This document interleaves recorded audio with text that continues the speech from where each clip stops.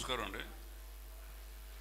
ఈ సినిమా మొదటి దగ్గర నుంచి ఫినిషింగ్ నిన్నటి వరకు కూడా అందరూ ఈ సినిమా పనిచేసిన ఆర్టిస్టులు కానీ టెక్నీషియన్స్ కానీ చాలా ఎంజాయ్ చేస్తూ పనిచేశారు.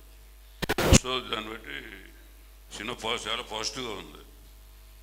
నిన్న రీ రీ రికార్డింగ్ థియేటర్లో కానీ మిక్సింగ్ థియేటర్లో కానీ అందరూ కూడా చాలా హైలో ఉన్నారు.